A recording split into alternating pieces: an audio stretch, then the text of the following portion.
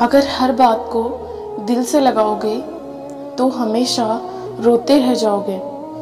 इसलिए जो जैसा है, उसके साथ वैसे ही बनकर रहिए। और अपने जीवन में तब तक कमाओ जब तक महँगी चीज़ें सस्ती ना लगने लगे। परवाह मत करो कि कोई क्या कहता है, क्योंकि तुम्हारे घर के खर्चे तुम्हें उठाने हैं, लोगों को नहीं। और एक बात हमेशा याद रखना समय इंसान को सफल नहीं बनाता। समय का सही इस्तेमाल इंसान को सफल बनाता है।